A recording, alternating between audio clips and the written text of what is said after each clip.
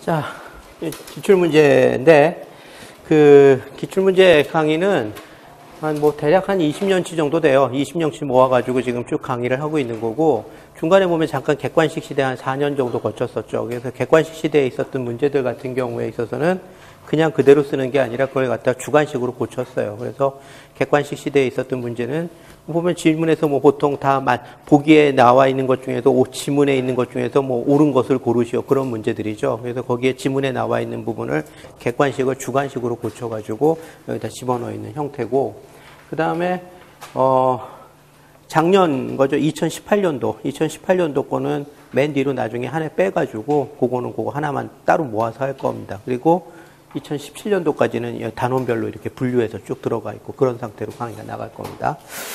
자, 그 한번 물리화학에서 이번 1강은 연력학 파트인데 연력학 파트가 내용 문제가 딥다 많아요. 그래서 아마 1강이 다 오늘 못 끝날 수도 있을 겁니다.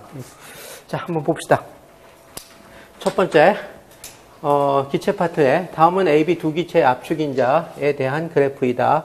압축인자라고 얘기하는 것은 Z는 이코로 PV 오바 NRT로 되어 있고 이게 이 압축인자의 정의죠. 그래서 이 압축인 요건 이제 압축인자의 정의에 해당이 되는 거고 그 다음에 어 지금 요 녀석 같은 경우에 있어서는 VM 실제 실제 기체의 몰 부피하고 이상 기체의 몰 부피 사이의 비율을 갖다가 정보를 주고 있는 것이 압축인자의 정의에 해당이 되는 거죠. 그래서 이런 식으로 우리가 표현을 할 수가 있다라고 얘기를 할 수가 있습니다.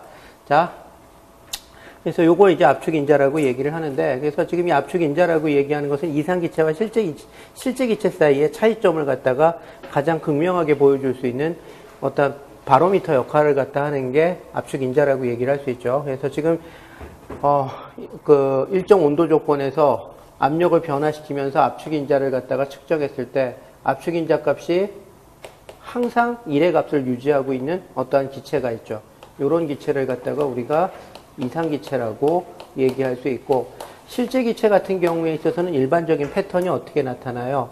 낮은 압력 부분에서는 인력의 지배를 받고 있기 때문에 이상기체의 압축인자보다 작은 값을 갖고 그 다음에 압력이 높아지게 되면 입자와 입자 사이의 거리가 가까워지죠. 거리가 가까워지면은 인력에 의한 효과와 반발력에 의한 효과 중에서 누구에 의해서 더 압도적으로 지배를 받죠? 반발력에 의한 효과를 훨씬 압도적으로 지배를 받죠. 왜? 인력은 거리에 6승에 반비례하는데 반발력은 거리에 12승에 반비례하죠. 그러니까 거리가 가까워지게 됐을 때는 어떻게 돼요? 반발력이 압, 인력을 압도하게 되죠. 그 결과 어떻게 된다? 실제 기체의 부피가 이상 기체의 부피보다 커지죠. 실제 기체의 부피가 이상 기체의 부피보다 커지니까 압축 인자 값이 1보다 커지게 되죠. 그래서 높은 압력에서는 반발력의 지배를 받아서 Z값이 1보다 크고 낮은 압력인 경우에 있어서는 상대적으로 거리가 입자와 입자 사이의 거리가 멀기 때문에 반발력보다는 인력에 의해서 영향을 많이 받고 인력은 주변, 주변에 있는 기체 입자들을 자기 쪽으로 잡아당겨주는 역할을 하죠. 몰 부피가 수축되는 걸 이유가 됩니다. 결과적으로 어떻게 되느냐면 실제 기체의 몰 부피가 이상 기체의 몰 부피보다 작아져서 이런 식으로 Z가 1보다 작아지는 영역을 갖게끔 만들어 놓죠. 그래서 이런 식으로 이제 우리가 표현을 갖다가 할 수가 있습니다.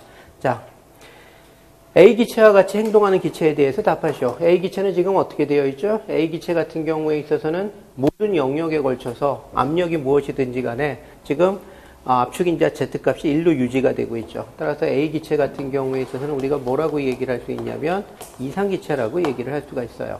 자, 지금 이건 이제 질문은 이상기체에 대한 질문이란 얘기죠. 이 기체가 만족하는 기체 상태 방정식은 무엇인가? 뭐 이상 기체니까 이상 기체 상태 방정식이죠. 이상 기체 상태 방정식이라고 얘기를 하면 되는 거고. 자, 그 다음에 이 기체에서요, 내부 압력의 값은 얼마이냐? 라고 얘기를 하고 있어요. 내부 압력이라고 얘기하는 것은 일정 온도 조건에서 부피 변화에 의한 내부 에너지의 변화량을 갖다가 얘기를 하고 있죠.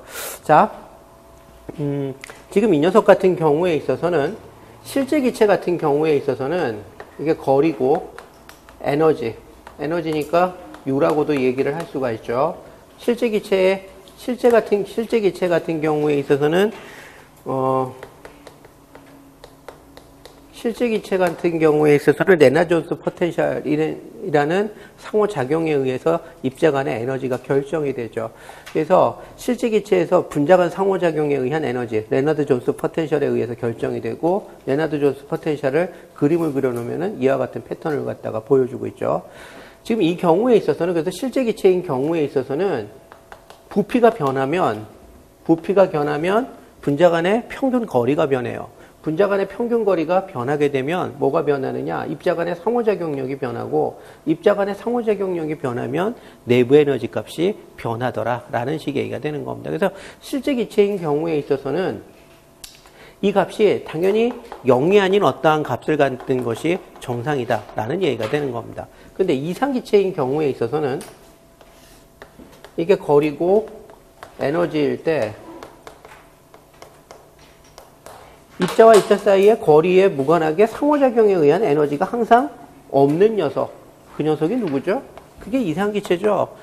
따라서 이상기체인 경우에 있어서는 내가 부피를 변화시켰어. 그래서 거리가 변해. 그래도 뭐가 변하지 않는다? 분자가 상호작용력의 크기가 변하진 않아요. 따라서 어떠하다?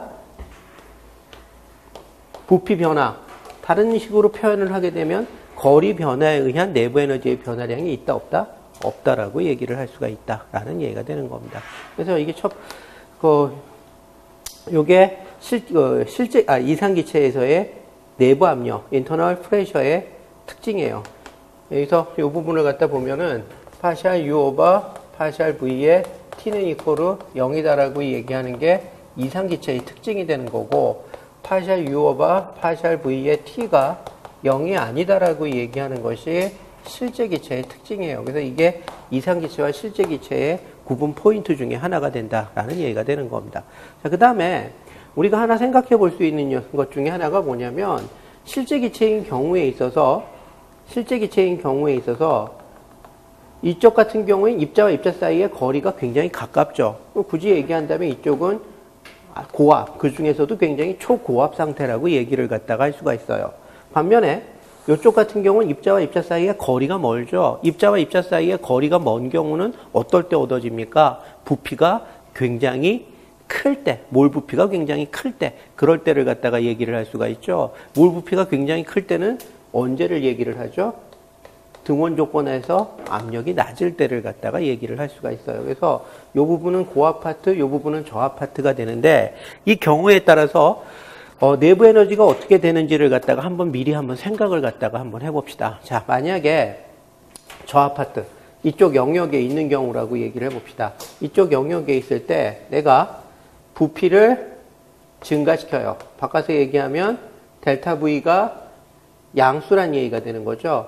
부피를 증가시키게 되면은 입자가 어느 쪽으로 움직여요? 입자와 입자 사이의 평균 거리가 멀어지죠. 평균 거리가 멀어지면은 이 녀석이 한 요쯤 영역에 있다가 이쪽으로 움직인다라는 얘기예요. 자, 저압 파트에서 부피가 팽창을 해요. 부피가 팽창하면 입자와 입자 사이의 평균 거리가 멀어지죠. 평균 거리가 멀어진다는 얘기는 요 R이라고 얘기하는 게 입자와 입자 사이의 거리죠. 레나드 존스 포텐셜상에서 요쪽 요쪽으로 이동을 한다는 얘기예요. 요쪽으로 이동을 하면 내부 에너지가 어떻게 되죠? 증가하죠. 입자와 입자 사이의 상호작용에 의한 에너지가 큰 음수값에서 작은 음수값이 돼요. 큰 음수값에서 작은 음수값으로 간다는 얘기는 에너지가 증가한다는 얘기가 되는 거죠. 그래서 이 경우에 있어서는 델타 그 U가 결국은 양수가 돼요. 델타 V도 양수고 델타 U도 양수니까 결과적으로 어떻게 되느냐? 파샬 U 오바 파샬 V의 T가 양수의 값을 갖겠죠. 요게 주로 저압 영역에서 압력이 낮은 저압 영역에서 나타나는 현상이에요. 반면에 고압 영역으로 갑시다. 여기서 얘기하는 고압 영역은 요 에너지 미니멈 포인트를 에너지 미니멈 포인트보다도 R 값이 작은 이쪽 영역을 갖다가 얘기를 해요. 여기서도 역시 마찬가지가 돼요. 내가 V를 상승을 시켰어요. 즉 델타 V가 양수란 얘기가 되는 거죠. V를 상승을 시키게 되면은 어떻게 돼요? 부피가 팽창을 하고 부피가 팽창을 하면은 입자와 입자 사이의 평균 거리가 멀어지죠. 바꿔서 얘기를 하면은 요 녀석 같은 경우는 R이 증가한다라는 얘기하고 똑같아요. 부피가 팽창한다. 입자와 입자 사이의 평균 거리가 멀어진다라는 얘기예요. 근데 요쪽 영역에서는 부피가 팽창하면 입자와 입자 사이의 거리가 멀어지면 어떻게 되죠? 에너지가 이런 식으로 떨어져 들어가죠. 결과적으로 어떻게 되느냐면은 내부 에너지는 음수가 돼요. 따라서 이런 경우라 그러면 파샬 U오바 파샬 V의 T가 어떻게 난다? 이거는 양수인데 이거는 음수죠. 그러니까 값이 음수가 나와요. 그래서 저하 파트냐 실제 기체에서 저하 파트냐 고하 파트냐에 따라서 내부 압력이 어떤 식으로 나올 수가 있다? 양수가 나올 수도 있고 음수가 나올 수도 있다라는 얘기가 되는 겁니다. 그래서 그런 것들을 여러분들이 여기서 생각을 갖다가 미리 좀 해주시면 됩니다. 어쨌든 이 첫 번째 그 이상기체인 경우에 있어서는 내부 압력이 항상 여기다. 이게 압력이 높든 낮든 그거에 상관없이 항상 이상기체인 경우에 있어서는 내부 압력이 항상 0이다라고 얘기하는 게 이상기체의 포인트다라는 얘기가 되는 거예요. 그 다음에 이 기체가 갖는 1, 2항 이외의 여러 가지 성질 중 세 가지를 갖다가 어, 나열을 하시오. 사실은 뭐 이건 이상기체 상태 방정식이니까 뭐 별거 없고 지금 여기서부터 여기까지를 묶어주면은 이상기체와 실제기체를 구분해주는 이상기체와 실제기체 사이의 차이점을 보여주는 네 가지 성질을 갖다가 얘기를 하는 겁니다.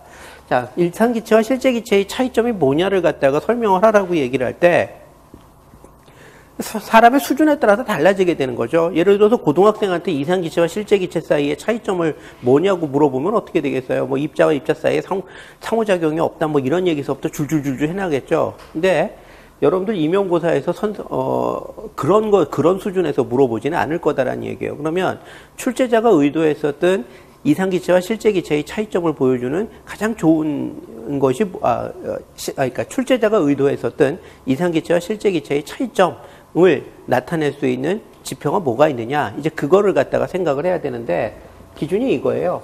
여기 어, 이미 요거 내부 압력이 0이다라고 얘기하는 게 이상 기체의 특징이다라고 얘기를 했었죠. 그럼 요것과 관련된 것들을 갖다가 서술을 갖다가 해줘야 된다라는 얘기예요. 혹은 요거에 대한 설명을 하는 단원에서 언급하고 있는 내용들을 갖다가 써주는 것이 바로 출제자가 의도했었던 걸수 있다라는 얘기가 되는 거죠. 그럼 그런 것들이 어떤 것들이 있는지 한번 생각을 해봅시다. 자, 뭐가 있을 수가 있느냐면은 첫 번째는 그러니까 첫 번째는 당연히 아까 얘기했었던 내부 압력이죠. 그래서 파샬 U 오버 파샬 V의 T 일정 온도 조건에서 부피 변화에 의한 내부 에너지의 변화량은 없다라고 얘기하는 거고 두 번째가 뭐가 있느냐면 이거하고 항상 같이 따라 나오는 것이 있어요. 그게 뭐냐면은 등원 줄 톰슨 계수예요. 그게 등원 줄 톰슨 계수. 우리가 뮤 T라고 얘기를 하는 거죠. 요거는 뭐죠? 엔탈피의 변화량이에요. 어떤 조건에서? 일정 온도 조건에서 엔탈피의 변화량입니다. 부피 변화에 의한 내부 에너지의 변화량, 압력 변화에 의한 엔탈피의 변화량. 요걸 갖다가 우리가 뭐라고 얘기를 하느냐? 등원 줄 톰슨 계수라고 얘기를 하죠. 자, 이것도 역시 마찬가지예요. 그 이상기체라고 얘기를 하는 것은 에너지의 총량이 그리고 엔탈피라고 얘기를 하는 것들이 오로지 뭐하고만 상관관계를 갖느냐 온도하고만 상관관계를 갖고 있는 것이 실제 기, 이상기체의 특징이에요. 그렇기 때문에 내부 에너지의 변, 등원 조건에서 내부 에너지의 변화량이 0이었던 것처럼 등원 조건이라면 압력 변화에 의한 엔탈피의 변화량이 0이 되는 것도 역시 이상 기체의 특징이 된다라는 얘기가 되는 겁니다. 자, 당연히, 당연하게 등원 줄 톰슨 계수가 0이다라는 얘기는 무엇도 또 0이라는 얘기가 되는 거죠. 등원 줄 톰슨 계수 같은 경우에 있어서는 CP의 뮤로도 표현이 되죠. 이건 그냥 줄톰슨 계수, 이건 등원 줄톰슨 계수가 되죠. 그래서 줄톰슨 계수와 등원 줄톰슨 계수 사이의 상관관계는 이렇게 되는 거고 그렇기 때문에 이 관계는 우리가 등원 줄톰슨 계수값이 0이다라는 얘기는 당연히 바꿔서 얘기하면 이게 0이면 은 뭣도 0이 되죠. 줄톰슨 계수값도 0이 되죠. 그래서 이것도 0이 됩니다. 그래서 파샬 t 오바 파샬 P에 그 다음에 H. 그래서 이게 이제 등원 어, 이게 줄톰슨 계수의 정의에 해당이 되는데 이것도 0이에요. 얘하고 얘는 같은 얘기예요. 그렇기 때문에 이거 두 개를 갖다가 요거 2번, 요거 3번 이렇게 쓰는 것이 아니라 둘 중에 어느 하나만 선택을 해가지고 여러분들이 답을 쓰시면 되는 겁니다. 자, 그 다음에 세 번째. 세 번째는 이상기체와 실제기체 사이의 차이점을 보여주는 세 번째 어, 요소 같은 경우에 있어서는 뭐가 있을 수가 있느냐면은 그 우리가 보면은 그 어, 우리가 CV를 갖다가 정의를 내릴 때 이런 식으로 얘기하죠. 파샬 U 오버 파샬 T의 V. 그래서 일정 부피 조건에서 온도 변화에 의한 내부 에너지의 변화량 이걸 갖다가 CV라고 얘기를 하죠.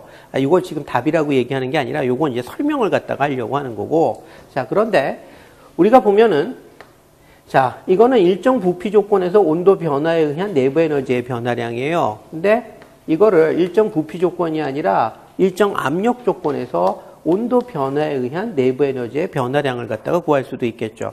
얘하고 얘 사이의 상호 관계를 갖다 보는데 실제 기체 같은 경우는 이 둘의 값이 달라요. 근데 이상 기체는 이 둘의 값이 구분이 없이 똑같습니다. 그게 이상 기체와 실제 기체의 차이점을 보여주는 가장 좋은 예 중에 하나예요. 그래서 다시 한번 여기서 정리해서 쓴다라면 CV 즉 파샬 U 오버 파샬 V의 T 아이가 이거 잘못 썼다. V분의 T 그래서 일정 부피 조건에서 온도 변화에 의한 내부 에너지의 변화량이 일정 압력 조건에서 온도 변화에 의한 내부 에너지의 변화량과 서로 같다라고 얘기하는 것 이것이 이상기체의 특징에 해당이 된다라는 얘기가 되는 겁니다.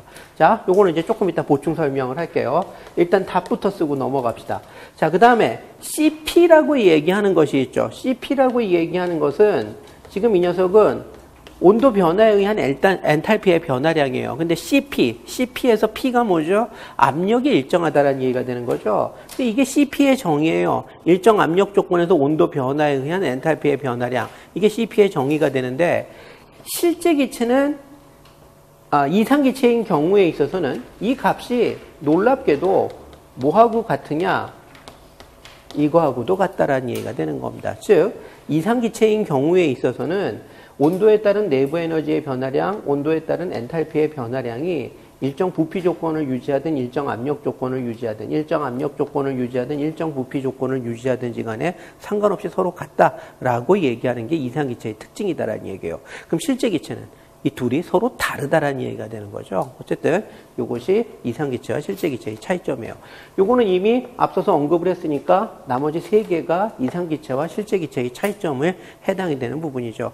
이게 보면 그 이상기체와 실제기체에 대해서 설명하는 열역학 단원에 보면은 이게 여러 챕터에 그 여러 섹션에 걸쳐서 한 챕터 내에 여러 섹션에 걸쳐서 서술이 되고 있어요. 출제자는 아마 이거를 묶어서 알고 있는지 모르고 있는지를 물어본 거다라고 얘기할 수가 있다라는 얘기가 되는 겁니다. 그래서 여기에 나와 있는 요 세 번째 기체가 갖는 2, 3 이외에 이상 기체죠. 이상 기체가 갖는 2, 3 이외에 나머지 세 가지 성질을 써라라고 얘기를 하면은 여러분들은 요 세 가지를 갖다가 써주시면 되는 겁니다. 자, 이거는 여러분들이 시험장에 들어가기 전에 꼭 기억하셔야 될 내용이에요. 이상 기체와 실제 기체의 차이점이 뭐냐라고 얘기했을 때 이러한 차이점이 있다는 사실을 기억하고 있어야 돼요.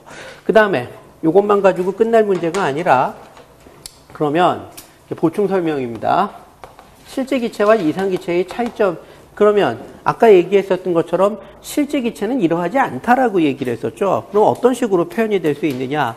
실제 기체에서 어, 시, 어, 실제 기체에서 이게 어떤 식의 상호 관계를 갖는지 얘하고 얘가 다르다 그러면은 어떠한 차이가 있는지를 미리 좀 생각하고 들어가야 돼요. 왜냐하면 연력학 문제들이 매해 어려워져요. 그래서 요즘 나오는 연력학 문제들이 생각보다 되게 어렵습니다. 그래서 이러한 걸 단순히 물어보기, 물어보기보다는 시험 문제에서는 판데어 발스 기체 같은 걸 주고 난 다음에 판데어 발스 기체에서 얘와 얘의 차이를 구해라. 뭐 이런 식으로 시험 문제가 날 수가 있어요. 그렇기 때문에 이것과 이것들 사이의 차이를 나타낼 수 있는 공식이 구체적으로 어떻게 표현이 되는지를 여러분들이 기억을 갖다가 좀 해주시는 게 좋습니다. 자, 우리가 구하고자 하는 게 바로 이거죠. 그래서 파샬 유 오버 파샬 t의 p를 갖다가 이제 무엇을 이용을 해서 chain rule을 이용을 해가지고 식을 갖다가 변형을 시킬 거예요.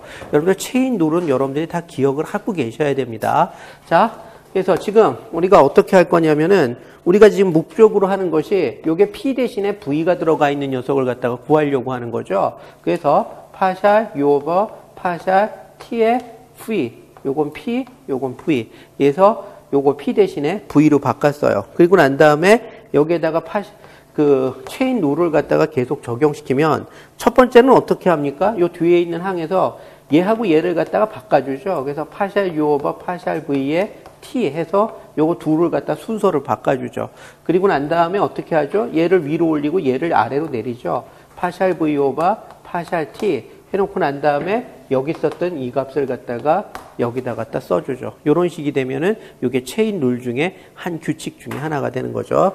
자, chain rule 여러분들이 지금쯤은 다 암기하고 있을 거라고 생각이 되지만 혹시라도 몰라서 써주게 되면 partial f over partial x의 z는 이코로 파샬 f 오바 파샬 x의 아까 여기서 p하고 v 바꾸듯이 z 대신에 y를 갖다 집어넣어요.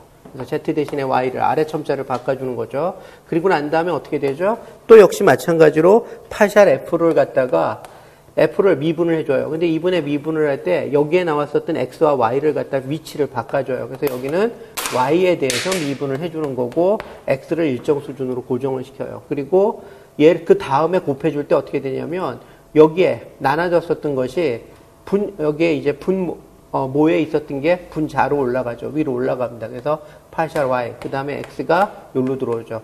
파샬 x 해놓고 난 다음에 요 z가 최종적으로 이쪽으로 옮겨옵니다. 이게 체인 룰이죠.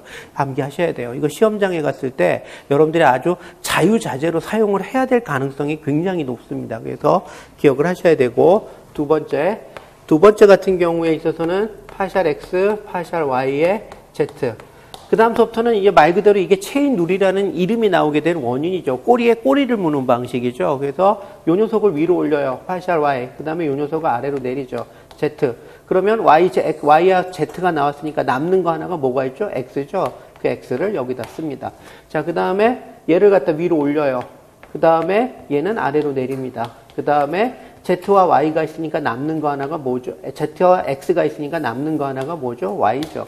이런 식으로 곱해진 결과 그 값은 놀랍게도 1이 아니다 마이너스 1이라고 얘기를 했었죠. 수업 시간에 이거 다 유도를 했었어요. 지금 이거 또 유도할 수는 없습니다. 그래서 요거 기억하시고 그 다음에 세 번째 그 다음에 세 번째는 뭐 너무나 당연한 얘기인데 파샬 x의 y의 z 부모 분자를 뒤집은 거죠. 그러니까 이게 파샬 y 오바 파샬 x의 z가 된다라고 얘기하는 거. 그래서 요거 1번, 2번, 3번.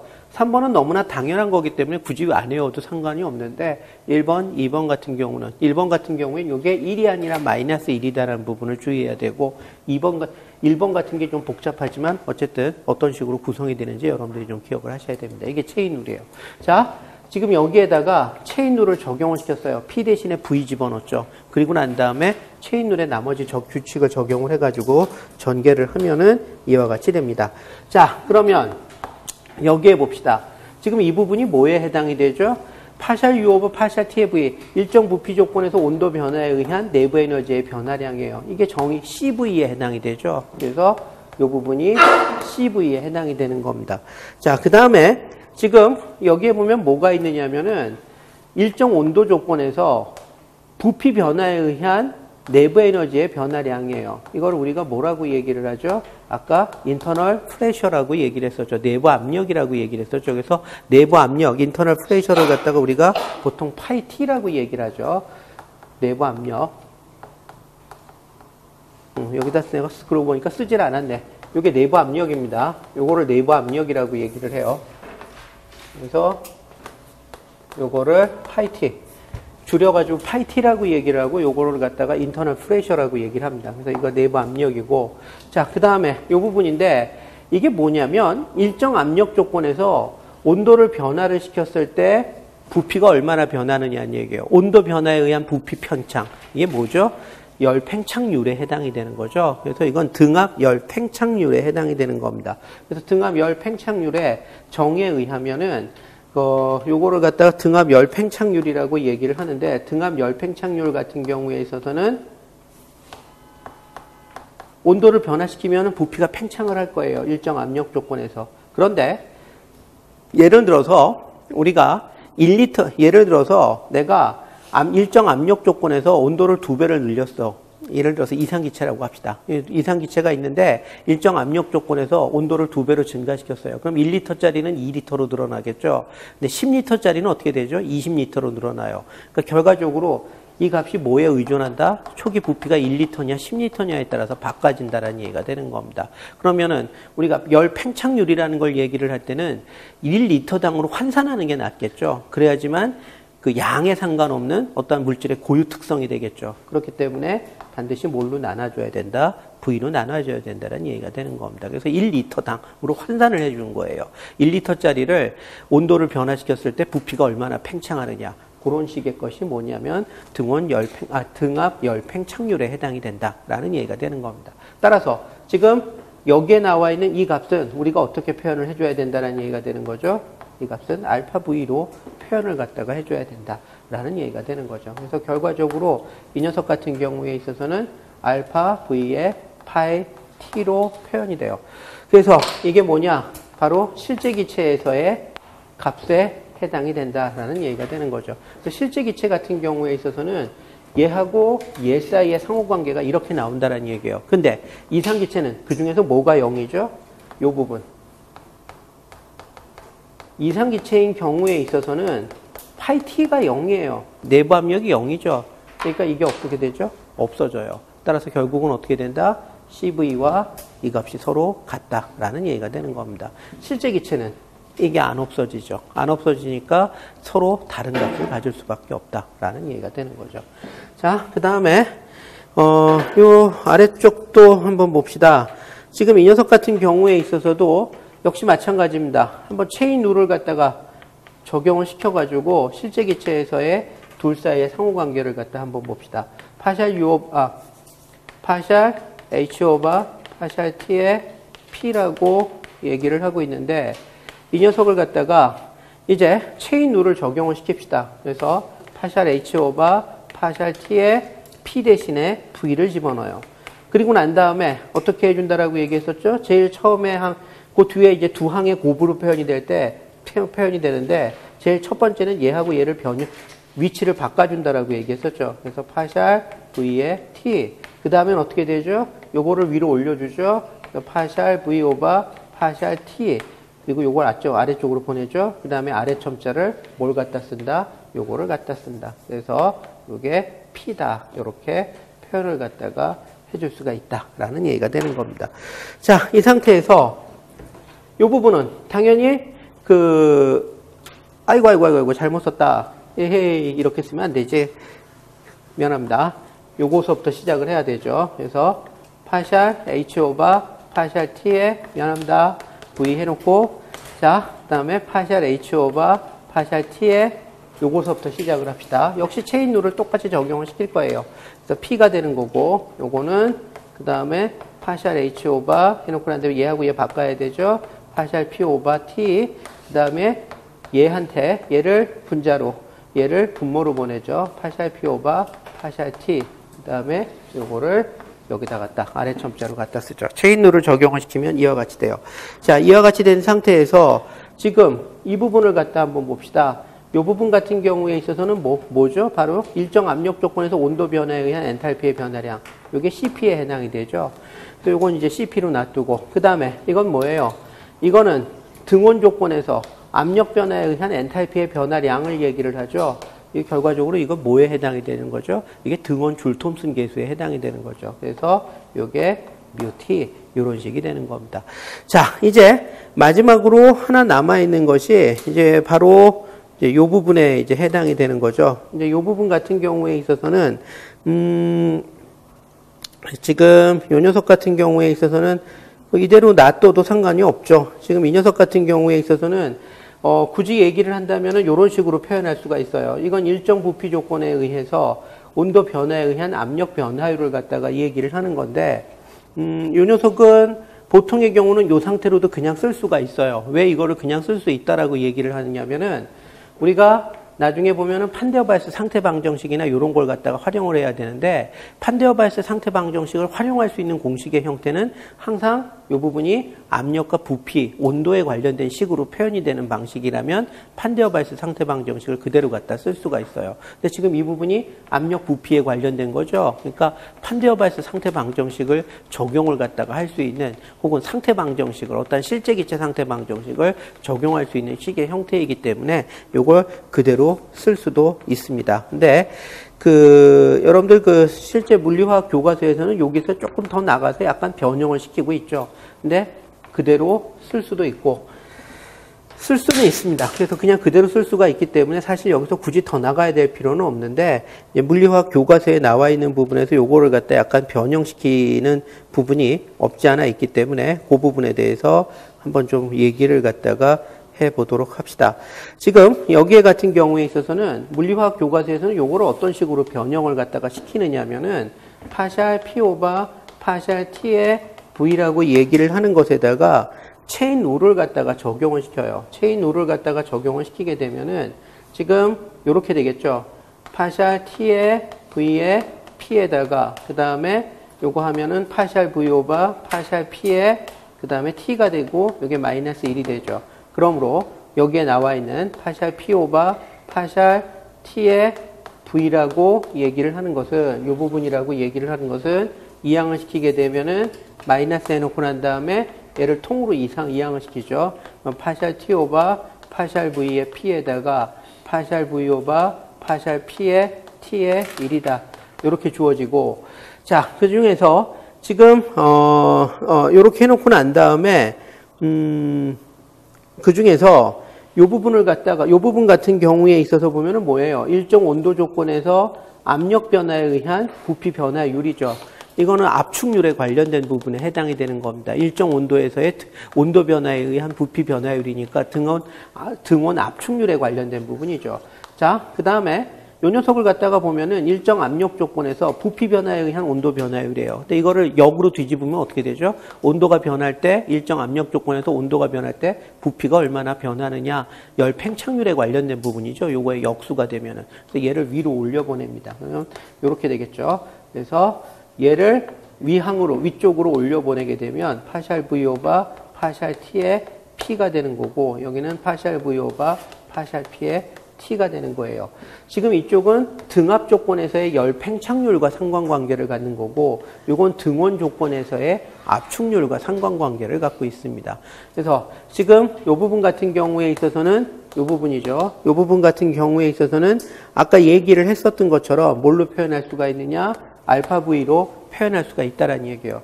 이게 그 등원 팽창률에 해당이 되는 거죠. 알파가. 그래서 알파 V로 표현할 수 있고 지금 이 부분 갚는 경우에 있어서는 뭘로 표현할 수가 있느냐? 마이너스 어 카파 아이고 마이너스 카파티의 V로 표현을 갖다가 해줄 수가 있어요. 자 여기서 카파라고 얘기를 하는 것은 그 카파티라고 얘기를 하는 것은 등원 조건에서의 압축률에 관련된 얘기가 되는 거예요. 그래서 지금 이 녀석은 원래 정의가 뭐냐면은 이거죠. 등원 조건에서 압력을 변화시켰을 때 부피가 얼마나 변하느냐. 이게 이제 카파티에 해당이 되는 기본 조건에 해당이 되는 겁니다. 자, 근데 여기서 하나 생각을 해야 되는 것은 지금 이 녀석도 어떻다라는 얘기죠? 이 녀석 같은 경우도 이걸 그대로 두게 되면 이게 크기 함수예요. 1리터냐, 2리터냐, 시작하는 부피가 얼마냐에 따라서 값이 다 달라져요. 그렇기 때문에 어떻게 해줘야 된다? 세기 함수로 변화를 시켜줘야 되고, 그럼 1리터당으로 환산을 해줘야 돼요. 그럼 V분의 1로 나눠줘야 되죠. 그 다음에 또 하나는 뭐냐면은, 지금 이 녀석 같은 경우엔 압력이 늘어나면 부피는 어떻게 돼요? 줄어들어요. 이게 양수일 때 이건 음수예요. 그렇기 때문에 요거 전체가 음수입니다. 근데 압축률이라고 얘기하는 것은 관습적으로 양수 형태로 표현을 해줘요. 그래서 어떻게 해줘야 된다?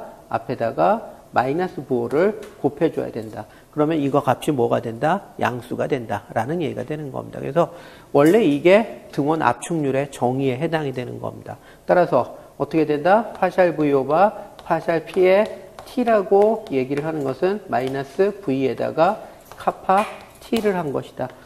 이렇게 표현할 수가 있다는 얘기죠. 그래서 요거를 이렇게 해서 집어넣게 되면은 요 부분 경우가 분모 분자의 V가 똑같이 있으니까 V는 삼각이 되고 마이너스하고 마이너스는 삼각이 되죠. 그래서 알파, 오바, 카파 T 이런 식으로 표현을 해줄 수가 있어요. 그래서 이 부분이 그와 같이 표현이 된다라는 얘기가 되는 거죠.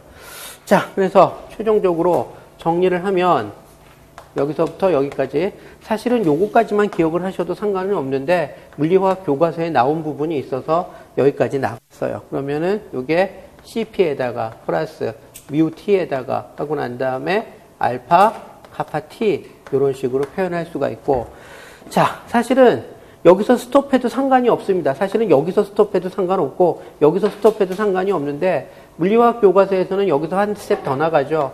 뭐를 사용하느냐? 뮤T는 equal 마이너스 CP의 뮤다라고 얘기하는 등온 압축률하고 아, 저 등온 압축률이네. 등온 줄 톰슨 계수하고 일반 줄 톰슨 계수, 줄 톰슨 계수와 등원 줄 톰슨 계수 사이의 상관관계를 보여주는 요 식을 이용을 해가지고 식을 변형을 시키죠. 여러분들 이 식도 기억을 하셔야 됩니다. 요것도 꼭 기억을 하셔야 되고 자, 요거를 이용을 해서 변형을 시키게 되면 CP 해놓고 난 다음에 마이너스 CP에다가 뮤 해놓고 난 다음에 알파 카파 T 이렇게 되죠.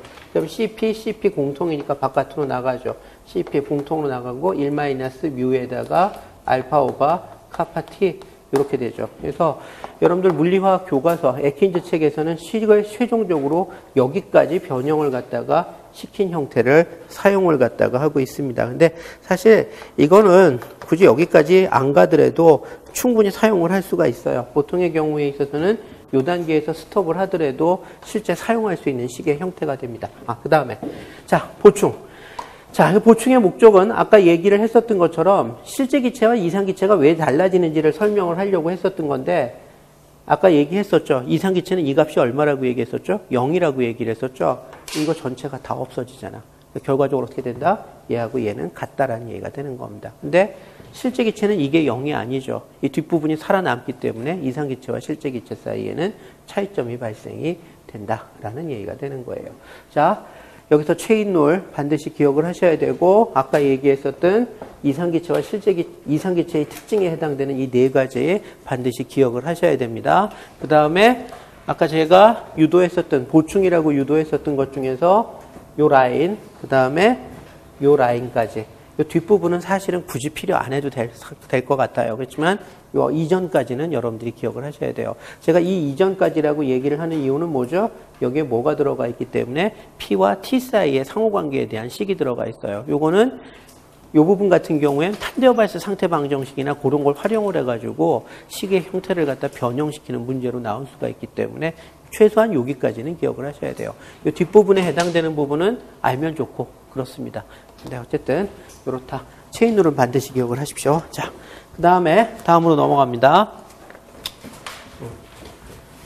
200ATM에서 B 기체의 몰 부피는 A 기체의 몰 부피의 몇 퍼센트냐라고 얘기를 했었는데, 자, 이거 아까 얘기를 했었죠. 이건 압축인자의 정의에 관련된 얘기예요. 압축인자의 정의는 VM 실제, 실제 기체의 몰 부피와 이상 기체의 몰 부피 사이의 비율에 대한 정보를 주고 있는 것이 압축인자다. 자, 이 녀석 같은 경우에 있어서는 어, 원래는 PV를 갖다가 NRT로 나눠준 거죠. 그런데 지금 이렇게 보면은 이게 어떻게 나온 거냐? 이게 압축인자의 정의죠. 그런데 지금 요거를 갖다가 요 n을 이쪽으로 보내고 요걸 아래쪽으로 내려줘요. 이렇게 되겠죠.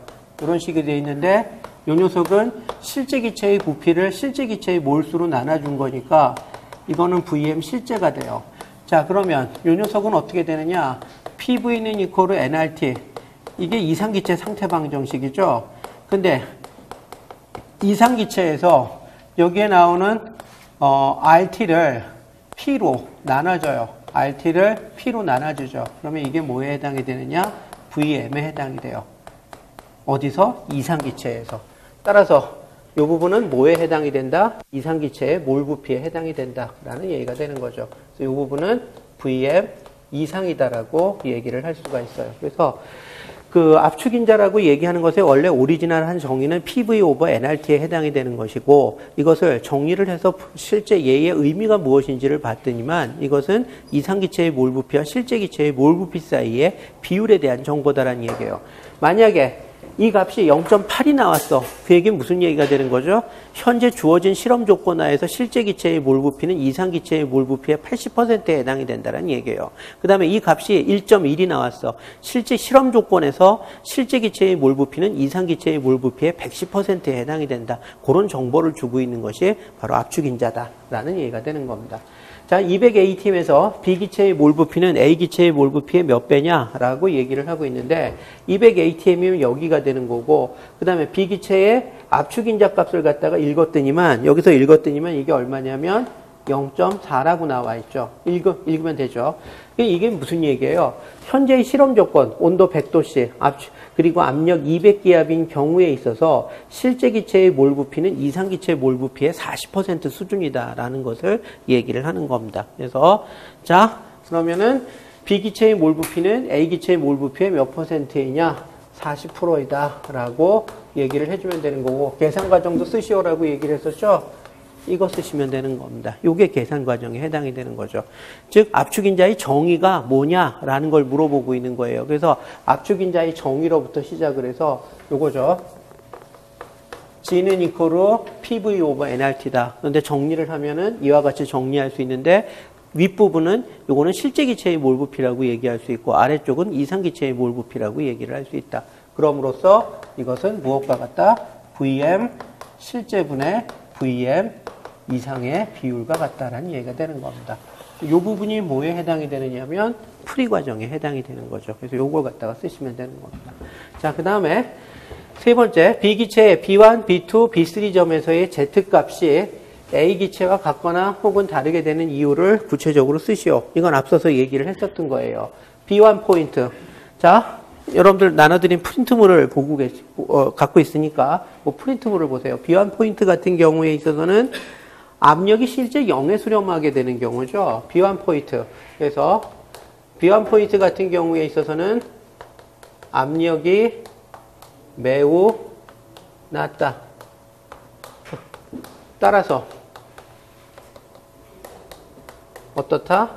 입자 간 거리가 압력이 낮아지게 되면 부피가 팽창을 하겠죠. 그럼 입자 간 거리가 어떻게 돼요? 멀어지죠. 입자 간 거리가 매우 멀다. 그러므로 무엇을 무시할 수 있다? 입자 간 상호작용을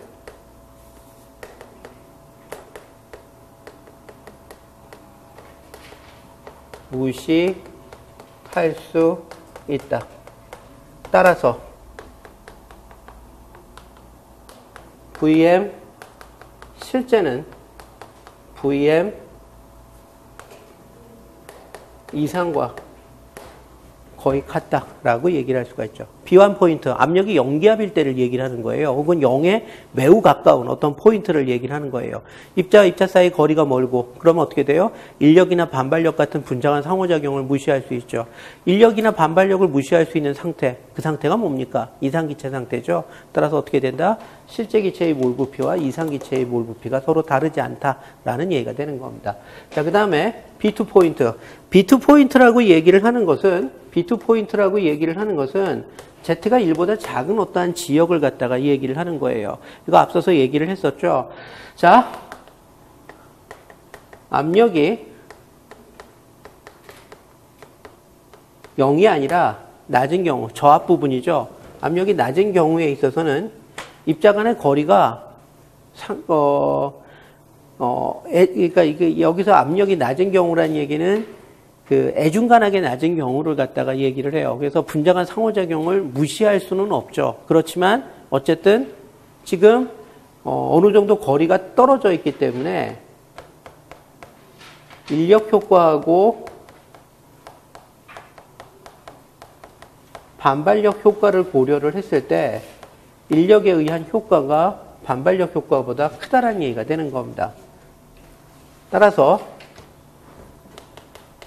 VM 실제하고 VM 이상을 비교해 보면은 이게 인력에 의해서 더 지배를 많이 받고 있으니까 실제 기체가 실제 기체가 반발력에 의한 효과보다는 인력에 의한 효과를 더 많이 받고 있으니까 인력은 입자와 입자 사이의 거리를 줄어드는 잡아당겨져서 부피를 축소시켜주는 효과를 가져오죠. 따라서 실제 기체의 몰 부피는 이상 기체의 몰 부피보다 작다라는 얘기가 되는 겁니다. 자, 그 다음에 세 번째 B3 영역. B3 영역 같은 경우가 지금 이 녀석을 굳이 얘기한다면 Z가 1보다 큰 경우에 해당이 돼요. 자, 이 경우에 있어서는 압력이 매우 높은 경우에요. 압력이 매우 높은 경우에 있어서는 입자와 입자 사이의 거리가 굉장히 가깝죠. 입자와 입자 사이의 거리가 가까워지면은 거리의 6승에 반비례하는 인력과 거리의 12승에 반비례하는 반발력 중에 누구에 의해서 더 지배를 많이 받게 된다? 반발력에 의한 지배를 많이 받게 된다는 얘기가 되는 경우예요. 그래서 이 경우에 있어서는 인력 효과하고 반발력 효과를 갖다가 비교를 했을 때 누가 더 크다? 압력이 매우 높아서 거리가 매우 가까워서 그런 얘기죠. 반발력이 더 큰 효과를 발휘한다는 얘기예요. 반발력은 입자와 입자 사이를 밀어냄으로써 몰 부피가 팽창시켜주는 효과를 가져오죠. 그러므로 어떻게 된다? VM 실제가 아무런 상호작용을 받지 않는 이상기체의 몰 부피에 비해서 커질 수밖에 없다는 얘기가 되는 거죠. 그래서 이런 식으로. 그래서 여기서 키포인트에 해당이 되는 거는 바로 이거예요.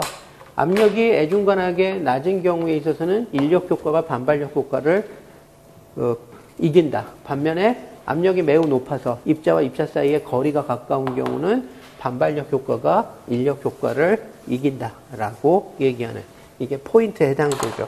자, 레나드 존스 potential이라고 얘기를 하죠. 여기가 거리고 여기가 입자와 입자 사이의 상호작용에 의한 에너지예요. 이게 이제 상호작용 에너지에 해당이 되는 거죠.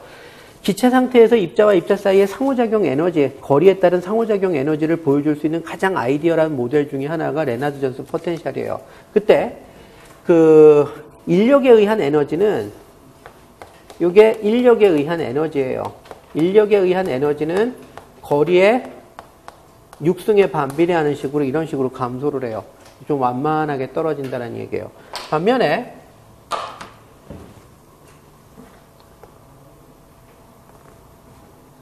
요거는 뭐냐면 반발력에 의한 에너지를 얘기를 해요.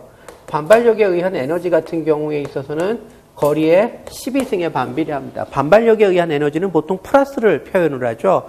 그래서 여기는 플러스예요. 기호가. 요거는 인력에 의한 에너지이기 때문에 마이너스로 표현을 갖다가 해놓은 겁니다. 자 그러면 여기에 나와 있는 상호작용 에너지라고 얘기를 하는 것은 상호작용 에너지라고 얘기를 하는 것은 반발력에 의한 에너지하고 그 다음에 인력에 의한 에너지의 합을 갖다가 얘기를 해요. 즉 빨간 선하고 하얀 선을 더해 놓은 거죠. 그래서 상호작용에 의한 에너지는 어떤 식으로 표현이 되느냐 이와 같이 표현이 되더라라는 얘기예요. 이게 레나드 존스 potential에 해당이 되는 거죠. 그래서 이런 식으로 표현이 되는 거고 자 그래서 지금 우리가 힘이라고 얘기를 하는 것은 상호작용력에 의한 에너지를 거리에 대해서 미분을 하고 난 다음에 앞에다가 마이너스 부호를 붙여주면은 이게 입자와 입자 사이의 상호작용 에너지에 해당이 되는 거죠. 그래서 에너지 미니멈 포인트를 기준으로 해서 거리가 먼 쪽 영역에서는 이 기울기가 양수가 나오죠. 기울기가 양수가 나온다는 얘기는 실제 힘은 뭐란 얘기죠? 음수, 인력이 작용하고 있다는 얘기가 되는 겁니다. 그래서 이쪽 range는 인력이 dominant한, 인력이 지배적인 range에 해당이 돼요. 반면에 이쪽 같은 경우에 있어서는 potential 에너지의 기울기가 뭐가 나오죠? 음수가 나오죠. potential 에너지의 기울기가 음수가 나오면 힘은 뭐가 나와요? 양수가 나오죠. 즉 반발력이 지배적인 영역에 해당이 된다라는 얘기가 되는 겁니다. 그래서 그런 걸 갖다가 이제 표현을 갖다 하는 거죠. 자, 어쨌든 그래서 거리가 애중간이 멀 때는 인력에 의해서 지배를 받게 되는 거고 거리가 매우 가까울 때는 반발력에 의한 지배를 받는다. 그거를 얘기를 하는 겁니다. 자, 그 다음에, 어, 자, 온도가 150도일 때 B기체의 Z값에 대한 그래프를 100도일 때와 비교해서 다음 그림에 그려 넣으시오. 계략적으로 그려 넣으시오 라고 얘기를 했는데, 지금 100도일 때가 요 그래프예요. 150대일 때는 이거보다 온도가 높아지죠.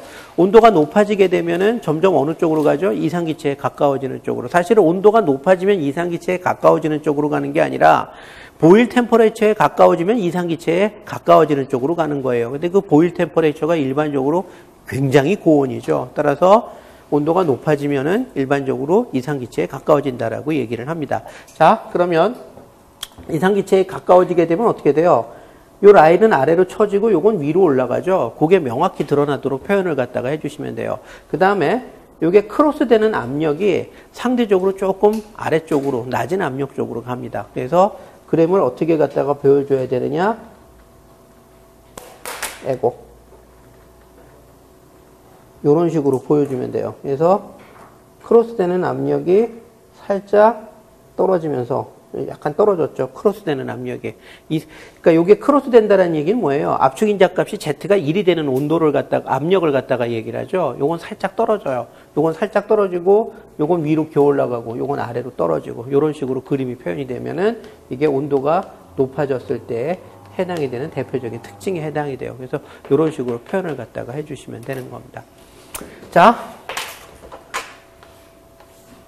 여기가 압축 인자고 이쪽이 압력이에요. 그 다음에 여기가 Z는 이코르 1이라고 얘기를 해봅시다. 이상기체죠. 이상기체를 기준으로 했을 때 저온 파트에서는 아, 그러니까 온도가 낮을 때는 이 녀석이 어떤 패턴을 갖다가 보이냐면 이런 패턴을 보여요. 그러다가 온도가 높아져요. 온도가 높아지면은 이 녀석이 어떻게 되느냐면 아, 아이고 이 녀석이 어떻게 되느냐면은 아까 얘기했었던 것처럼 이런 식의 패턴을 보여주죠. 이상기체에 좀 더 가까워지죠. 그러다가 이 녀석이 보일 템퍼레이처에 도달하게 되면 어떻게 되느냐면은 이렇게 돼요. 거의 1에 가까우면서 완벽하게 1은 아니죠. 약간 1보다 약간씩 커지는 근데 이 편차는 굉장히 작습니다. 그래서 이게 온도가 뭐냐? 보일 템퍼레이처에 도달했을 때 이런 식의 패턴을 보여주죠. 자, 그 다음에 마지막으로 지금 이 그림을 다시 그리는 이유는 뭐냐면 요것 때문에 그래요. 만약에 온도가 보일 템퍼레처보다 높다라면 예를 들어서 보일 템퍼레처는 굉장히 고온이에요. 그렇다고 해서 이게 무한대는 아닙니다. 예를 들어서 어떠한 기체는 보일 템퍼레처가 뭐 한 천 몇백 K가 될 수도 있고 어떤 기체는 뭐 2000K, 3000K 뭐 이런 식이 됩니다. 근데 어쨌든 이 보일 템퍼레처보다 높은 온도도 있을 수가 있겠죠. 그 보일 템퍼레처보다 높은 온도가 되면은 곡선이 어떻게 되느냐? 이런 식으로 가버려요.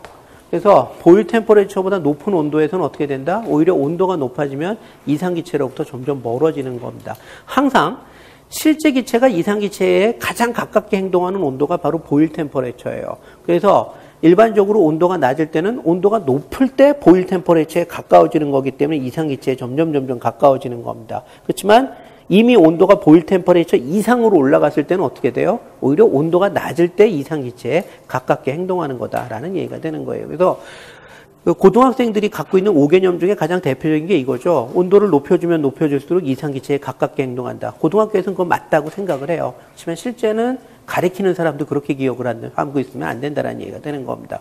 어떻게 기억을 해야 된다?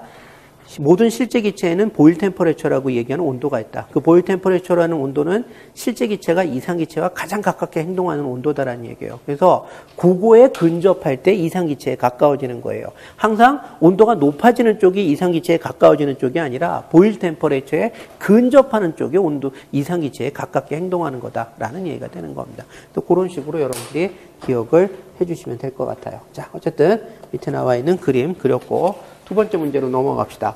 자, 두 번째. 이제 여기서부터는 연력학 제1법칙에 관련된 문제들이 쭉 나옵니다. 자, 연력학 제1법칙에 관련된 문제들, 뭐 연력학 제2법칙에 관련된 문제들 이런 것들이 나오는데 제1법칙, 제2법칙에 관련된 문제들의 가장 뭐 대표적인 것은 제1법칙에서는 1과 열 사이의 관계, 제2법칙에서는 엔트로피의 변화량에 관련된 얘기가 나오게 되겠죠. 그 다음에 맥스웰 방정식에 관련된 얘기들이 제2 법칙 할 때 막 쏟아져 나옵니다. 그래서 맥스웰 방정식에 관련된 그걸 활용하는 문제가 나왔을 때 상당히 여러분들이 골치가 지근지근 아플 때가 많습니다. 자, 연력학 제1법칙 두 번째 문제 봅시다. 처음에 온도가 27도씨이고 300K라는 얘기가 되는 거죠. 약 300K, 300K이고 압력이 2기압인 1몰의 이상기체를 1기압의 일정 압력에 맞춰서 단열적으로 팽창시켜서 일정 압력이고 그 다음에 여기에 단열적으로 팽창시켰다는 얘기가 나와요. 이 연력학 제1법칙에서 나올 수 있는 문제 중에서 제일 골 때리는 문제들이 바로 단열 팽창에 관련된 얘기입니다. 그래서 이게 조금 문제를 어렵게 만들어주는 요소죠. 근데 단열 팽창 같은 경우에 있어서는 여러분들이 뭘 기억을 하시면 되느냐면 du는 이코로 dq 플러스 dw고 단열 과정이다라는 얘기가 들어간다는 얘기는 dq는 equal 제로다라고 얘기를 하는 거예요. 따라서 어떻게 된다? dw다라는 얘기가 되는 겁니다. 그래서 단열이라는 말이 들어가면은 문제 풀 때 가장 힌트가 되는 혹은 아니면 문제 풀 때 아, 이렇게 풀면 되겠구나 방향을 잡을 때 가장 포인트가 되는 게 뭐냐면 바로 이거예요. du는 equal dw다라고 얘기하는 거. 이것이 단열에 관련된 문제를 갖다 풀 때 가장 항상 문제 전개의 첫 번째 스타트 포인트가 되는 경우가 많습니다. 어쨌든 이렇게 표현이 되고 그 부피가 두 배가 되었다. 이상기 이 이상기체의 정 정부피하의 일정 부피하의 몰 연용량은 1.5R이다. 그 다음에 다음 물음에 답하시오. 위의 변화에서 최종 온도는 몇 도씨이냐라고 얘기를 하고 있고 소수점 이하는 버린다라고 얘기를 하고 있어요. 자, 최종 온도라고 얘기를 하는데 자, 이건 어떻게 하느냐? 아까 제가 얘기를 했었던 것처럼 DU하고 DW가 서로 같다라고 얘기하는 게 단열 과정에서의 시작이다라고 얘기했었죠. 여기서도 역시 마찬가지로 적의 시작 역할을 합니다. 단열 과정이므로 단열이므로 DQ는 0이다. 그러므로 DU는 이코르 DW이다. 그런데 DU는 어떻게 표현이 되죠? DU는 NCV DT로 표현이 돼요. 어떤 경우에 있어서 이상 기체인 경우에 있어서 실제 기체인 경우에 이렇게 안 표현이 되죠. 실제 기체인 경우에 있어서는 DU는 equal 파이T DV에다가 파이T DU는 파이T 어, DV에다가 플러스 CV DT로 표현이 되죠. 요게 실제 기체예요. 근데 이상 기체인 경우에 있어서는 이상 기체인 경우에 있어서는 파이T가 제로죠. internal pressure, 내부 압력이 제로죠. 이게 없어져요. 따라서 어떻게 된다? CVDT. 그래서 이상 기체인 경우에 있어서는 내부 에너지의 변화량이 항상 뭐에만 의존한다? 온도 변화에만 의존한다. 부피나 압력의 변화는 무엇에 영향을 주지 못한다? 내부 에너지의 변화에 영향을 주지 못한다라는 얘기가 되는 겁니다. 이상 기체인 경우에 있어서는 오로지 무엇만이 온도의 변화량만이 내부 에너지의 변화량에 영향을 줄 수 있는 원인에 해당이 된다라는 얘기가 되는 겁니다. 그래서 이렇게 표현이 되죠. 자, 요거는 어, 어, 이렇게 되는 거고, 그 다음에, 음, 그래서 요게 이렇게 표현이 되는 거고, 요건 CV 대신 요 녀석은 정확히 표현하면은 N, CV, M, 몰당 일정 부피 몰 연용량에 해당이 되는 거죠. 그래서 이렇게 이제 표현을 갖다가 해줄 수가 있죠. 자, 그런데 이런 상태가 되는 거고, 그 다음에 여기에 아까 뭐라고 얘기했었죠? DW, DW는 마이너스 PEX DV로 표현이 될 수가 있다라고 얘기를 했었죠. 자, 지금 DW 같은 경우에 있어서는 1이죠. 여기서의 일은 팽창일을 얘기를 하겠죠. 일반적으로 특별한 얘기가 없으면은 비팽창일은 없는 걸로 생각을 하고 있기 때문에 여기서 얘기하는 팽창, 일은 팽창일에 해당이 되는 거고 요거는 마이너스 PEX DV가 되는 거죠. 단열 조건에서는 이 둘이 어떤 관계를 갖는다? 이 둘이 equal 관계를 갖는다라는 것이 단열 조건에서의 문제를 풀 때 첫 번째 키 포인트가 될 수 있는 내용이더라라는 얘기가 되는 겁니다. 이 둘이 이콜 관계를 가져요. 자, 그러면은 한번 봅시다. 지금 여기 같은 경우에 있어서 지금 아까 이 그러므로 지금 이 녀석은 NCVM의 DT는 이코로 마이너스 PEX의 DV예요. 그 다음에 CVM은 문제에서 이 기체에서 얼마로 나온다? 1.5R로 나온다라고 얘기를 했었죠. 그 다음에 기체의 몰수는 얼마죠? 1몰이죠. 그러므로 이 녀석 같은 경우는 1.5R의 DT가 되는 거고 이것은 무엇과 같다? 마이너스 PEX의 DV. 근데 지금 여기 같은 경우에 있어서는 외부의 압력이 얼마라고 얘기했었죠? 1기압의 일정한 외부 압력에 해당이 되죠. 그래서 여기가 마이너스 1 ATM에다가 DV가 되는 겁니다. 자, 이제 좌우 양변을 동시에 적분을 갖다가 해봅시다. 그러면 인테그랄 T1에서 T2까지 1.5R에다가 1.5R이라고 얘기하는 것은 상수죠. 그래서 바깥으로 빠져나오고 DT는 이렇게 되는 거고 1ATM이라고 얘기를 하는 것도 상수죠. 그래서 마이너스 1ATM에다가 인테그랄 V1에서 V2의 DV 이렇게 되겠죠. 그러면 지금 이 녀석 같은 경우에 있어서는 이렇게 표현할 수가 있죠. 1.5 R에다가 T2-T1에 해당이 되죠. 근데 T2는 이제 우리가 구해야 되는 거고 T1은 27도씨죠. 27도씨를 갖다가 지금 뭐 아까 얘기했었던 것처럼 27도씨라고 얘기를 하는 것은 300K죠. 그래서 300K. 이게 T1이죠. 그 다음에 이 부분 같은 경우에 있어서는 나중 부피가 처음 부피의 몇 배가 된다라고 얘기했었죠. 두 배가 된다라고 얘기를 했었죠. 문제에 보면은 V2는 이코로 2V1이다라는 얘기가 여기에 나와 있죠. 그 부피가 두 배가 되게 하였다. 자, 그러면은 지금 이 녀석 같은 경우에 있어서는 1ATM에다가 이게 뭐에 해당이 되느냐? 2V1 마이너스 V1에 해당이 돼요. 그러면 지금 이 녀석은 1ATM에다가 V1이다. 이렇게 되겠죠. 자, 이제 다 나왔어요. 우리가 V1만 알면은 우리가 T2를 갖다가 계산할 수가 있죠. V1은 뭐에 해당이 되죠? 이상기체의 처음 부피에 해당이 되는 겁니다. 자, 이상기체의 처음 부피 알 수 있나요? 알 수 있죠. 왜? 여기에 보면은 온도 나와 있죠? 압력이 2기압이라고 나와 있죠? 몰수 나와 있죠? 온도, 압력, 몰수 다 나와 있으면 당연히 부피는 우리가 계산할 수 있다라는 얘기가 되는 거죠. 그래서 자, 이때 V1은 어떻게 된다?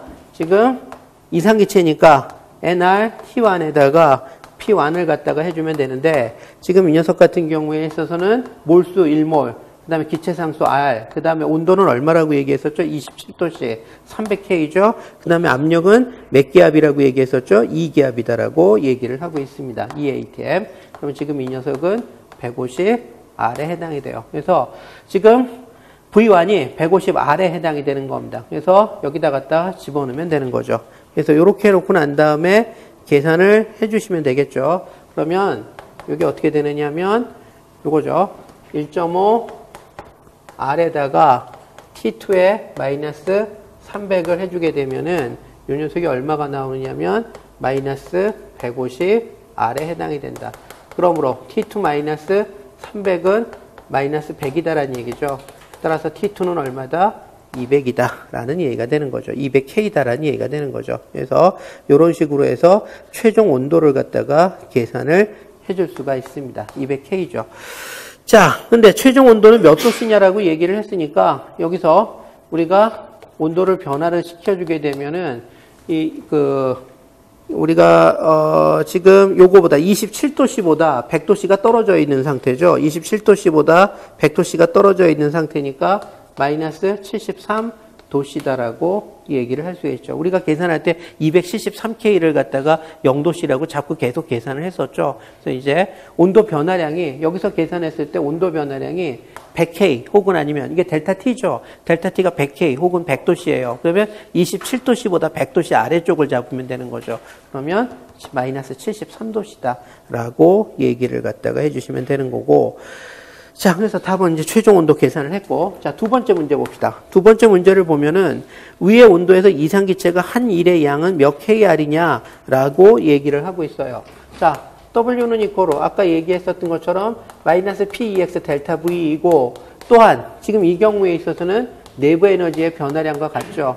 그리고 이 녀석은 NCVM의 델타 T로 표현이 되죠. 그럼 1몰, CVM은 1.5R, 그 다음에 델타 t는 얼마였었죠? 아까 계산을 했었죠. 요게 델타 t죠? 요게 마이너스 100K에 해당이 되죠. 그래서 계산하면 마이너스 150 R에 해당이 됩니다. 그래서 이게 해준 1의 양에 해당이 되는 거죠. 마이너스 150, 어, 요게 K죠. 온도 변화량으로 150K니까 마이너스 150 KR이다. 요런 식으로 표현을 갖다가 해주시면 되겠죠. 여기서 그, 이, 여기서 그 위의 기체에서 이상 기체가 한 일의 양은 몇 KR이냐라고 얘기했을 때 그 K는 이 온도 K를 갖다가 얘기를 하는 겁니다. 그래서 이런 식으로 해서 이게 마이너스 100K죠. 델타 T가.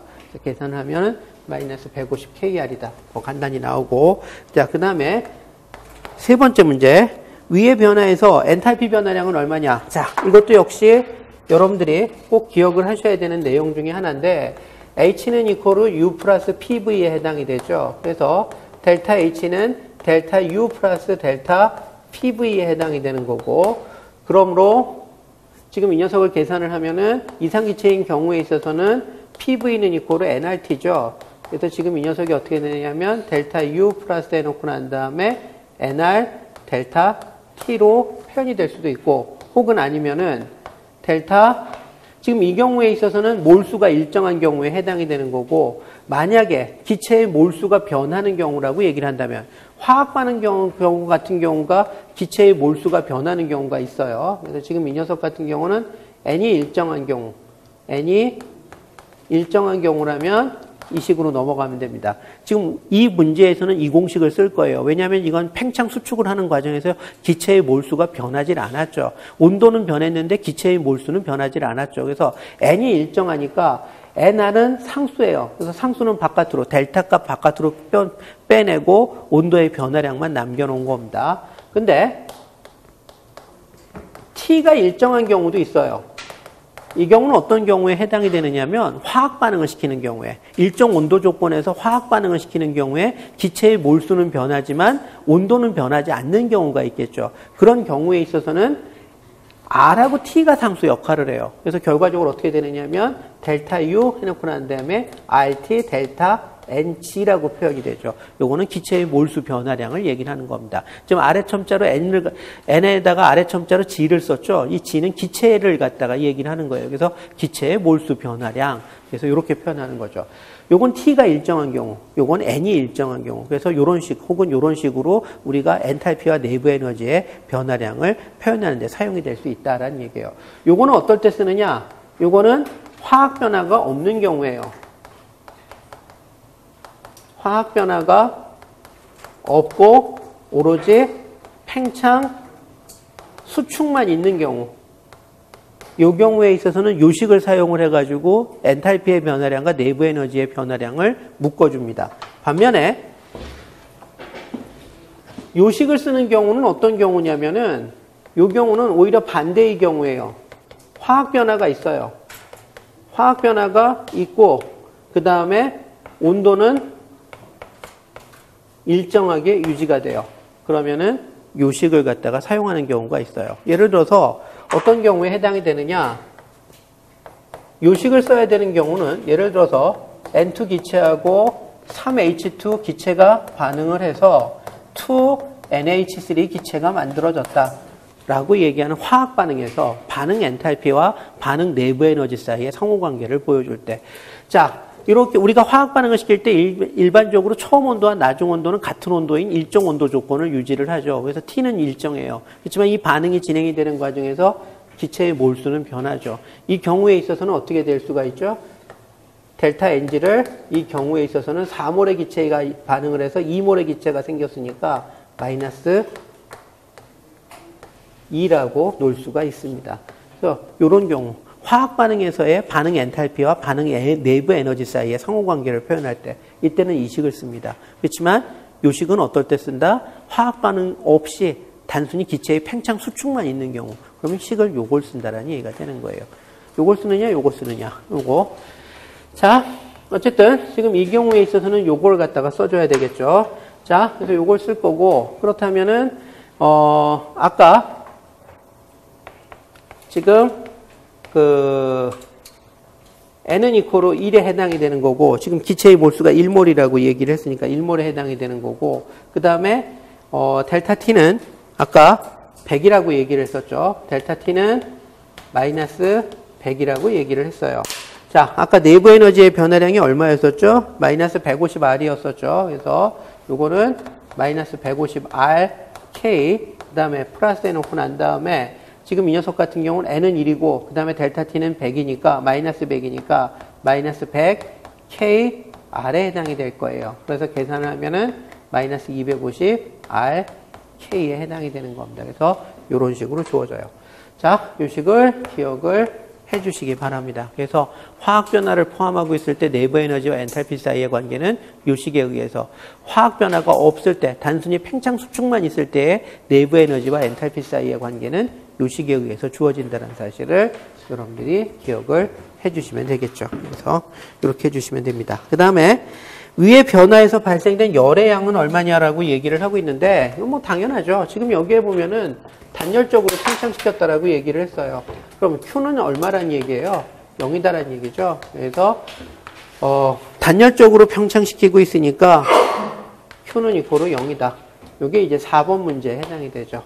단열적으로 출입하는 열량은 있었다 없었다 없었다라는 얘기가 되는 겁니다. 그래서 요거는 네 번째 문제 여기 네 번째 위의 변화에서 발생된 열의 양은 얼마 몇 KR이냐 단열 과정이다. 그러므로 Q는 0이다라고 쓰시면 되는 겁니다. 문제에 단열이란 나와 있으니 얘기가 나와 있으니까 출입하는 열량이 있으면 그게 더 웃기죠. 그래서 이렇게 되는 거고. 자, 그 다음으로 넘어갑시다. 세 번째 문제.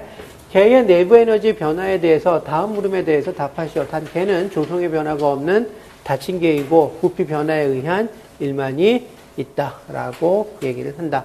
조성 변화가 없다라는 얘기는 몰수 변화 이런 거 없다라는 얘기가 되는 거고 그 다음에 부피 변화에 의한 일만 있다고 한다. 이건 출제자가 뭘 얘기를 하는 거냐면은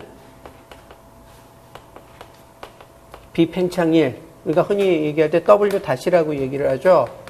0이다라는 얘기예요. 오로지 팽창일만 존재하고 있다라는 것을 얘기를 하고 있는 겁니다. 이를 계산을 할 때 오로지 팽창일에 관련된 부분만 생각을 하면 된다. 비팽창일은 0이다. 그 얘기를 하는 겁니다. 내부 에너지의 어, 미분 DU를 S와 V의 부분 미분의 합으로 나타나시고 그 다음에 연력학 제1법칙과 제2법칙을 이용해서 DU를 DS와 DV로 표현을 하시오 라고 얘기를 갖다가 하고 있죠. 자, 지금 이거는 뭐 별거는 아니고 어, 지금 이 녀석 같은 경우에 이 부분이죠. S와 V의 부분 미분의 합으로 표현하라는 얘기는 뭐냐면 U는 S와 V의 함수라고 생각을 하고 문제를 풀게 되면 DU는 어떻게 표현할 수 있죠? 여기다가 우리가 전미분을 적용을 하는 겁니다. 전미분을 적용을 하면은 파샬 U 오버 파샬 S의 V의 DS 플러스 파샬 U 오버 파샬 V의 S의 DV라고 표현할 수가 있죠. 이게 전미분이죠. 자, 전미분이라고 얘기를 하는 것은 상태함수의 특징이에요. 요거는 상태함수의 특징 중에 하나입니다. 그래서 상태함수인 경우에 있어서는 예를 들어서 f가 x와 y의 함수일 경우에 f의 변화량을 우리가 어떻게 표현할 수 있냐? 파샬 f 오버 파샬 x의 y의 dx 플러스 파샬 f 오버 파샬 y의 x의 dy의 형태로 표현할 수 있다는 얘기예요. 이게 어, 경로 함수인 경우에는 이 조건을 만족을 못 시켜요. 근데 상태 함수인 경우에 있어서는 항상 이와 같은 식을 갖다가 만족을 시킵니다. 자, 그 다음에 상태, 그, 상태 함수의 두 번째 특징 중에 하나가 이거죠. 내가 어떠한 함수를 갖다가 두 번 미분을 하는데, f를 두 번 미분하는데, x에 대해서 먼저 미분하고 y에 대해서 나중에 미분을 하나, f를 두 번 미분을 하는데, y에 대해서 먼저 미분을 하고 나중에 x에 대해서 미분을 하나 미분 순서에 상관없이 변화량이 동일하게 나타나요. 이것도 상태함수의 특징 중에 하나입니다. 이것도 상태함수의 특징 중에 하나다라는 얘기가 되는 거예요. 그래서 상태함수라고 얘기를 하면 이 두 가지 성질을 항상 만족시켜야 된다라는 얘기가 되는 거죠. 이 그리고 결국은 이 두 가지 식이 맥스웰 방정식을 비롯한 여러 가지 식을 만들어내는데 가장 기본적인 수학적인 백그라운드 역할을 하는 게 바로 요거입니다. 그래서 여러분들이 상태함수라고 얘기하는 것은 반드시 이 두 가지 성질을 만족시킨다라고 얘기를 하는 거. 즉 미분 순서에 상관없이 변화량이 동일하다. 두 번 미분을 했을 때, 두 번 편미분을 할 때 y에 대해서 편미분하고 나중에 x에 대해서 미분을 하나 x에 대해서 미분하고 나중에 y에 대해서 미분하나 변화량이 동일하다라고 얘기하는 거. 상태함수의 첫 번째 특징. 그 다음에 상태함수의 또 다른 특징 중에 하나가 전체 변화량을 얘기를 할 때 x의 y를 고정시킨 상태에서 x의 변화율에 대해서 x의 변화량을 곱해주고 그 다음에 어, x를 고정시킨 상태에서 y에 대한 변화율에다가 y의 변화량을 곱해주고 그래서 y에 대한 변화량, x에 대한 변화량을 따로따로 해서 더해주게 되면 전체 변화량이 나온다라고 얘기하는 거. 경로함수에서는 이게 성립이 안 돼요. 근데 상태함수에서는 이게 성립이 된다는 얘기죠. 자, 그래서 지금 여기서 내가 u를 s와 v의 함수라고 생각을 한 거죠. f를 x와 y의 함수라고 생각한 거하고 똑같은 거예요. F 대신에 상태함수 f 대신에 u를 사용을 한 거고 변화량 x, y 대신에 독립 아, 독립 변수 x, y 대신에 s와 v를 갖다가 놓은 겁니다. 그래서 요거를 df에 대해서 적용 df에 대해서 전미분을 적용을 시키듯이 du에 대해서 전미분을 적용시키면 이와 같이 표현이 된다는 얘기예요. 그다음에 요게 요거고 그다음에 두 번째 여기에 보면은 연력학 제1법칙과 제2법칙을 이용해서 du를 ds와 dv로 표현하시오라고 얘기를 하는데 이건 이거를 얘기를 하는 거죠. du 어, 지금 어, 이 녀석 같은 경우에 있어서는 그 du라고 얘기를 하는 것은 dq 플러스 dw에 해당이 된다. 그 다음에 그 지금 이 녀석을 갖다가 가역 조건을 적용을 시킨다면 dq 가역에다가 플러스 dw 가역으로 표현할 수 있다라는 얘기예요. 자, 이건 상태함수죠. 상태함수의 변화량은 가역 과정에서의 변화량과 비가역 과정에서의 변화량이 똑같아요. 그렇기 때문에 경로를 내가 임의로 지정할 수 있다라고 얘기하는 것이 상태함수가 갖는 특권이라고 얘기를 했었죠. 그래서 내가 TU의 변화량을 계산하고자 할 때 어차피 가역 과정을 거치든 비가역 과정을 거치든 변화량이 똑같으니까 가역 경로를 임의로 설정을 하고 그때의 변화량을 계산한다라고 얘기를 하는 거예요. 자, 여기서 중요한 것은 내가 식을 유도를 할 때 가역 과정을 가정을 하고 유도를 했지만 유동된, 유도된 최종 결과는 어디에도 쓸 수가 있다? 비가역 과정에도 그대로 적용을 시킬 수 있다라는 게 상태 함수의 특징입니다. 예, 여러분들 이거 물리화학 책에 보면은 이게 가역 경로를 기정을 가정을 해가지고 유도를 하기 때문에 학생들이 많이 착각을 하는 게 아 이거는 가역 조건에서만 쓸 수 있는 식인가 보다 이렇게 생각을 하는데 그거 아닙니다. 상태 함수의 특징이 뭐죠? 가역 경로를 따르든 비가역 경로를 따르든 경로에 상관없이 변화량이 똑같다라고 얘기하는 게 상태함수의 특징이에요. 따라 서 식을 유도할 때는 가역 경로를 기준으로 해서 유도를 했지만 유도된 최종 결과는 비가역 과정에도 그대로 쓸 수 있다라고 얘기를 하는 것이 가, 그 유도된 최종 결과의 특징 중의 하나입니다. 자, 어쨌든 이렇게 놓으면은 지금 어차피 여기서 문제에서 제1법칙과 제2법칙을 적용을 해서 DU와 DU를 DS와 DV의 식으로 나타내라고 얘기를 했으니까 유도 과정을 다 보여줄 수밖에 없어요. 그래서 자 이렇게 놓고 난 다음에 DQ 가역 같은 경우에 있어서는 우리가 TDS로 표현을 갖다가 할 수가 있죠. 왜냐하면 여러분들이 알다시피 내부 에너지의 변화량의 정의는 뭐죠? T분의 DQ 가역이라고 얘기하는 게 내부 에너지의 변화량의 정의에 해당이 되는 겁니다. 따라서 DQ 가역을 TDS라고 표현할 수가 있어요. 그 다음에 자 어, 여기에 DW 가역을 봅시다. 원래 DW 가역 같은 DW 같은 경우에 있어서는 마이너스 PEX DV로 표현이 되죠. 그런데 내가 여기다가 가역 경로를 적용을 시키게 되면 가역 과정인 경우에 있어서는 외부의 압력과 개의 압력이 항상 평형을 이루면서 변화를 하는 게 가역 과정이에요. 그렇기 때문에 PEX가 무엇과 같다? P인과 같다라는 얘기예요. 개의 압력과 같다라는 얘기가 되는 거죠. 개의 압력인 경우에 있어서는 굳이 P, 개 이런 식으로 표현 안 하죠. 그냥 P라고 표현을 하죠. 아무런 얘기가 없으면 이거는 개의 압력을 얘기를 하는 거예요. 요거는 외부의 압력이에요. 그렇지만 가역 과정인 경우엔 외부의 압력이 무엇과 같다? 개의 압력과 같다라는 얘기예요. 그래서 표현하면은 마이너스 PDV 이렇게 되는 거죠. 그래서 결과적으로 지금 du를 ds와 dv의 식으로 표현을 했죠. 그래서 지금 표현하라는 얘기는 요게 이제 첫 번째 답에 해당이 되는 거고 전미분의 특성을 이용해서 적용을 한 거고 두 번째가 연력학 제1법칙과 제2법칙의 특징을 이용해서 요건 연력학 제1법칙이죠. 요건 뭐죠? 연력학 제2법칙이죠. 연력학 제1법칙과 제2법칙을 적용을 해서 우리는 무엇을 알았죠? du와 DU가 다음 식으로 표현이 된다는 것을 알았어요. 그래서 이 두 가지를 써주게 되면은 이것에 답에 해당이 되는 겁니다. 특히 두 번째 같은 경우엔 답만 쓰면 좀 곤란하겠죠. 연력학 제1법칙과 제2법칙의 특징을 이용해서 DS와 DV의 식으로 표현하라고 얘기했으니까 풀이 과정에 포함이 돼 있어야 돼요. 그래서 이렇게 간단히 써주셔야 됩니다. 자, 그 다음에 어, 두 번째, 부피가 일정한 조건 하에서 내부 에너지를 엔트로피에 대해서 도시하면 그 그래프에서 기울기는 무엇에 해당이 되는가?